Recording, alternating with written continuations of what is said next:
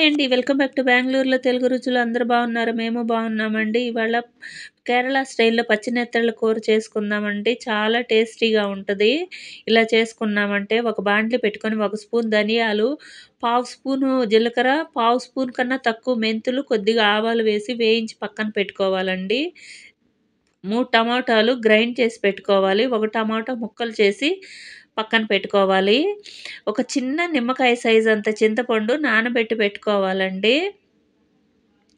ఇప్పుడు కూరకి ఒక గిన్నె పెట్టుకొని ఆరు స్పూన్లు ఆయిల్ వేసుకొని, ఒక ఉల్లిపాయ పొడవు పొడవుగా కట్ చేసి అందులో వేసుకొని బాగా వేగనివ్వాలి.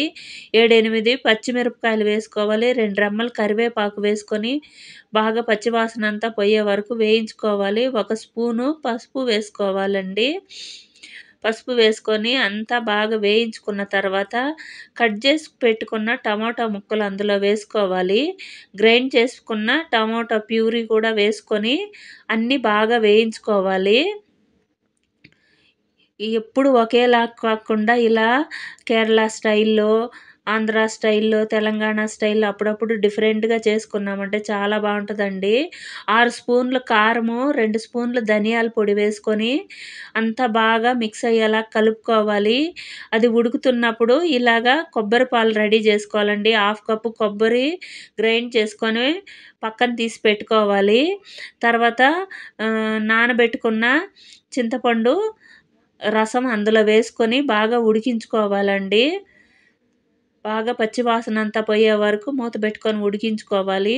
పచ్చివాసన అంతా పోయిన తర్వాత అందులో క్లీన్ చేసి పెట్టుకున్న నెత్తళ్ళు వేసుకోవాలి.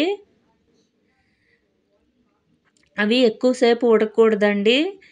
ఒక 7, 8 నిమిషాలు ఉడికితే చాలు. కూర అంతా రెడీ అయిపోయింది కాబట్టి 7, 8 నిమిషాలు చాలు. తర్వాత గ్రైండ్ చేసుకున్న కొబ్బరి పాలు వేసుకొని ధనియాలు, మెంతులు పొ పొడి అందులో వేసుకోవాలండి. వేసుకొని ఒక్క పొంగు మాత్రమే రానివ్వాలి.